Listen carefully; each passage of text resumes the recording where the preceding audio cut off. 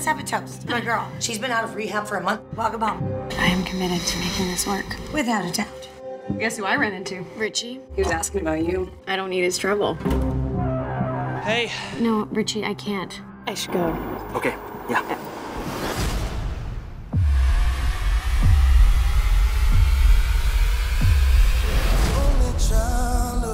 You want? Richie, let me go. Why hasn't she called? Maybe we should face the facts. It's been two days since you last saw her. Grace has a history with drugs. She's... There's nothing here that indicates that a crime has taken place.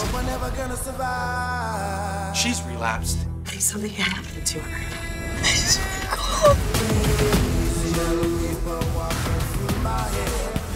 You said you saw your daughter last at the interstate. Drugs flow along that interstate like water. And when there's drugs, there's trafficking. They seduce them, they drug them. After 10 days, they sell them. They sell them. Ten days. How long has your daughter been missing?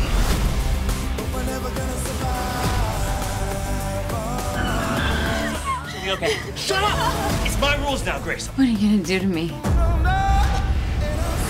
It's starting to feel like a needle in a haystack. We're gonna keep looking until we find her, Bert.